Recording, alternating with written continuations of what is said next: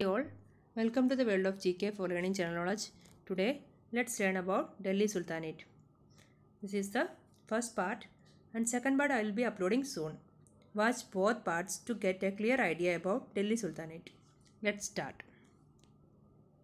The period between 1206 AD and 1526 AD in India's history is known as Delhi Sultanate period. So, Delhi Sultanate period is the period between 1206 AD to 1526 AD. During this period of over 300 years, five dynasties ruled in Delhi.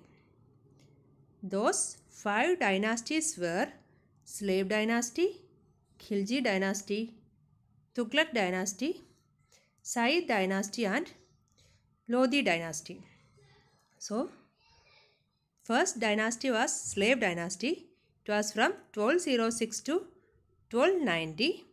Next is Khilji Dynasty, 1290 to 1320.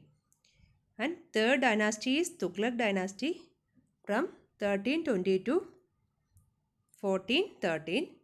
And next is Sayyid Dynasty from 1414 to 1451. And last one is Lodi Dynasty. It was from 1451 to 1526. Now let's see about Slave Dynasty. It was from 1206 to 1219. Slave dynasty was founded by Ilbari Turk because all the rulers of slave dynasty they were included in the tribe name Ilbari. Ilbari is a tribe name and they were all Turks and they were in the Ilbari tribe. And slave dynasty is also known as Mamluk dynasty. Mamluk means owned and they were slave soldiers and they ruled Egypt and Syria but they are not native of Egypt. So Mamluks are slave soldiers. Qutbuddin Aibak was a Sipak Salar under Muhammad Ghori. So Qutbuddin Aibak was the founder of slave dynasty and his time period was 1206 to 1210. He was a Sipak Salar. Sipak Salar means commander in chief and he was a commander in chief under the under Muhammad Ghori and he was the founder of first Turkish kingdom in northern India and he built Aday Dinka Chopra in Ajmer. So he built a mosque named Aday Dinka Chopra. It is a it is one of the oldest mosques in India and it is in Ajmer. After his death, Alam, Aram Shah, Aram Shah was his son.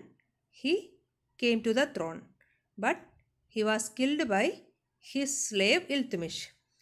Iltutmish was his slave. Oh, Iltutmish was sold in slave slavery and he was Aibak's slave. He killed the son of Qutbuddin Aibak and he took the power from Aram Shah.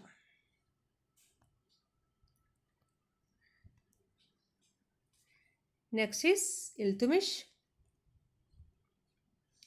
He was really founder of Delhi Sultanate and his time period was 1211 to 1236. He ruled from Delhi in place of Lahore. So he ruled from Delhi, that's why he is known as real founder of Delhi Sultanate. And he completed construction of Qutb Minar in Delhi. Actually, construction of Qutub Minar started by Qutbuddin Aibak but completed by Iltutmish.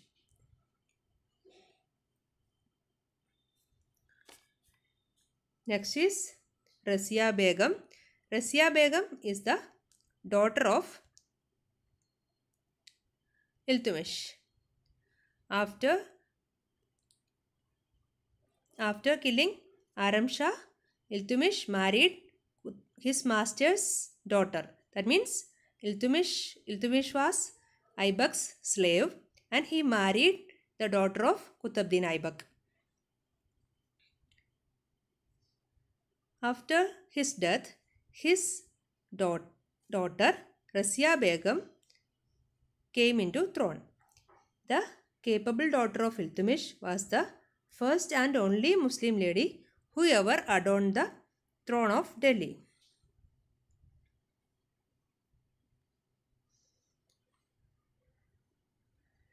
Next is Nasiruddin Shah.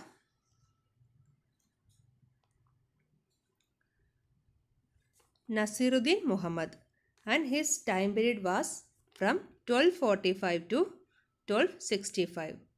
Ruled out power remained in the hands of Balban. So, uh, Nasiruddin Muhammad was Iltutmish's son. He was in power, but the he was in the throne, but all the power remained in the hands of his prime minister Balban. His full name was Ghiyasuddin Balban, and he directly took over the throne and ruled Delhi.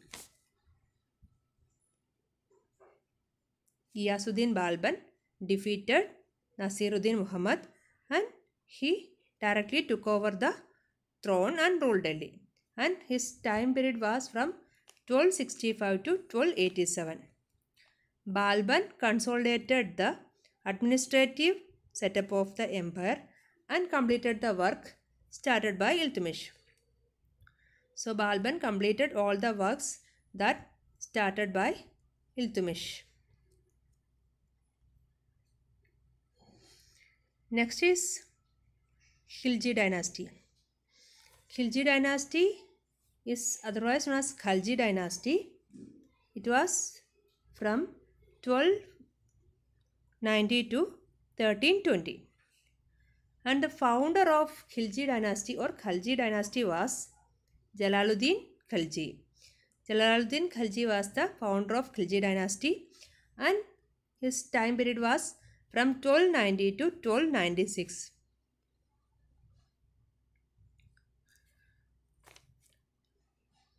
Next and Alauddin Khilji.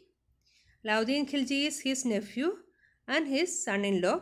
He murdered Jalaluddin Khilji and became the ruler. So Alauddin Khilji was his uh, Jalaluddin's son-in-law and nephew. He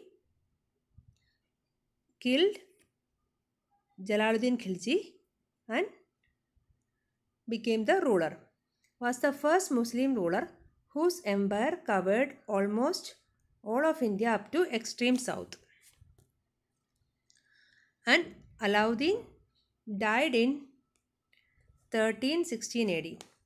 And Alauddin was uh, died in 1316 AD and his time period was from 1296 to 1316 approximately 20 years and with his death the Khilji dynasty came to an end after his son Qutbuddin Mubarak Khilji was murdered.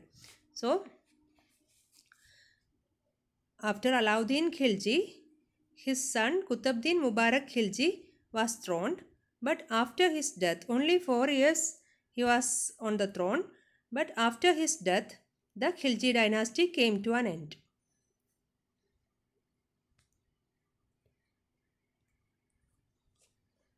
So that's all about today's topic. Thanks for watching. If you like the video, like, subscribe and share to your friends. Thank you.